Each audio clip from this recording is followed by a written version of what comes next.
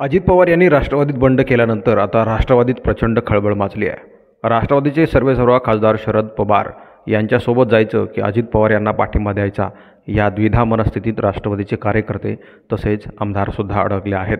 अशात आता अजित पवार यांनी सर्व जिल्हाध्यक्षांना फोन करून सोबत राहण्यास सांगितलं आहे. तर जिल्हाध्यक्षांनी पाठिंबा कोणाला द्यायचा यासाठी बैठका बोलवल्या आहेत. राष्ट्रवादी काँग्रेस पार्टीचे शिरूरचे खासदार अमोल कोल्हे यांनी टोकाचा निर्णय घेतला आहे राष्ट्रवादीचे शिरूरमधील खासदार अमोल कोल्हे वैतागून चक्क राजीनामा देणार असल्याचं बोललं जात आहे अमोल कोल्हे यांच्या निर्णयाने राष्ट्रवादीला मोठा धक्का बसला आहे पक्षात पडलेली फूट आणि झालेल्या द्विधा मनस्थितीतून अमोल कोल्हे हे खासदारकीचा राजीनामा देणार असल्याचं सांगितलं जात आहे. त्यामुळे राजकीय वर्तुळामध्ये खळबळ उडाली आहे. अमोल कोल्हे आजच शरद पवार यांच्याकडे त्यांचा राजीनामा सोपवणार आहेत. रविवारपासून राष्ट्रवादीत नाट्यमय घडामोडी घडत आहेत. अजित पवार यांच्या शपथविधीवेळी कोल्हे उपस्थित होते. पण त्यांनी आता खासदारकीचा राजीनामा देण्याचा निर्णय घेतला आहे अमोल कोल्हे यांनी काल शरद पवार यांच्याशी संपर्क साधला होता. तसेच मी तुमच्यासोबत असल्याचंही स्पष्ट केलं होतं.